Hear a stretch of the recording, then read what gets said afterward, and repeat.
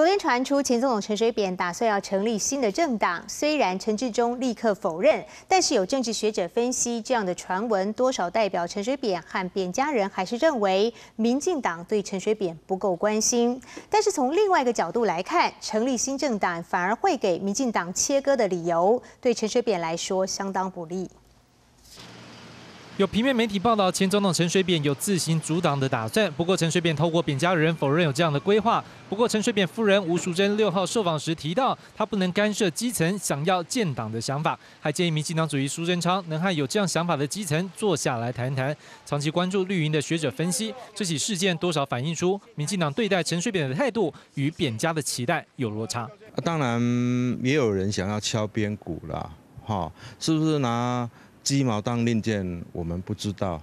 那当然，扁也不希望被说呃挂上一个就是说所谓的呃分裂民进党这样的帽子。但是他对民进党大概也有一些呃想法，认为说民进党好像对他不是很关注了。也有学者认为，持续有旧扁相关议题出现，的确对陈水扁的司法医疗人权有所帮助。但是这次的阻挡议题对陈水扁并没有好处。呃，有阻挡议题出来，可是绝对不会有阻挡行动，甚至去严厉的否认。哈。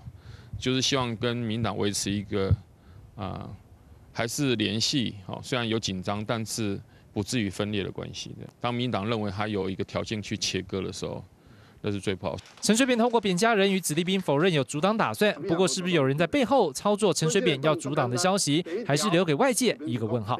记者张志雄、张国良台北报道。